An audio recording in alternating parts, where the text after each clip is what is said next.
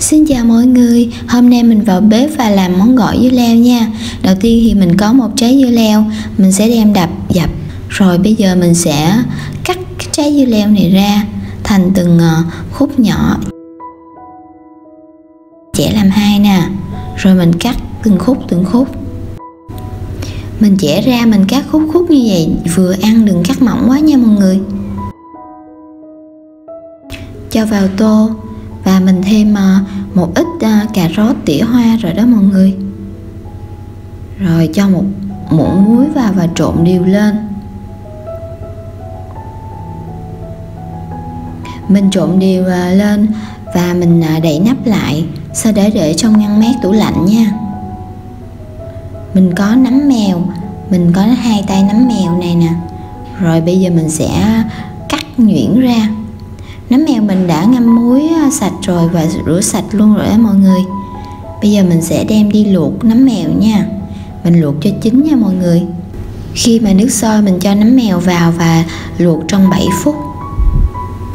Rồi bây giờ thì mình à, vớt ra bỏ vào à, tô nước lạnh nha. Đó. Mình lấy cái phần dưa leo cà rốt ra và mình vớt nấm mèo vào chung luôn á mọi người. Trộn đều hết luôn và đậy nắp tiếp tục để trong tủ lạnh.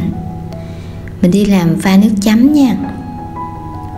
Bây giờ mình có phần tỏi và ớt mình băm nhuyễn ra rồi.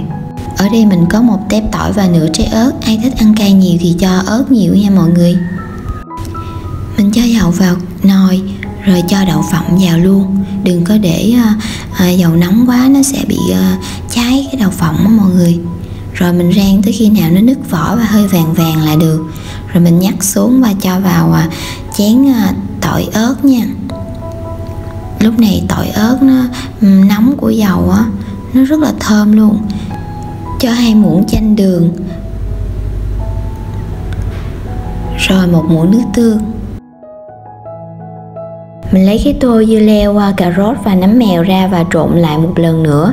Sau đó mình vắt thịt khô nước và mình cho vào một cái tô khác nha.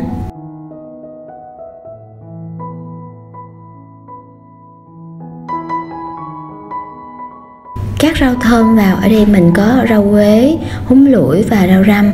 Mọi người thích loại rau nào thì cắt vào loại đó cho nó thơm. Rồi, bây giờ mình thêm à, một muỗng à, mè đen. Mè đen này mình đã rang sẵn rồi. Và trộn hỗn hợp này lại với nhau.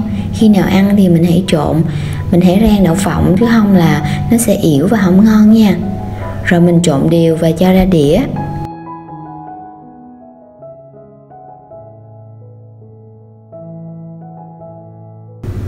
Nhìn rất là hấp dẫn luôn ha. Bình thường mình vắt chanh và đường tỷ lệ một một mình vắt mình để à, sẵn trong ngăn mát tủ lạnh á.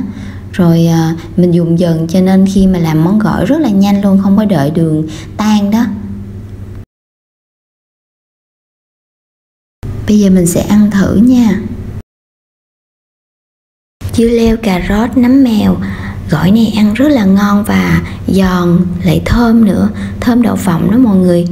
Mọi người hãy thử làm nha bye bye mọi người hẹn mọi người vào những video sau nha.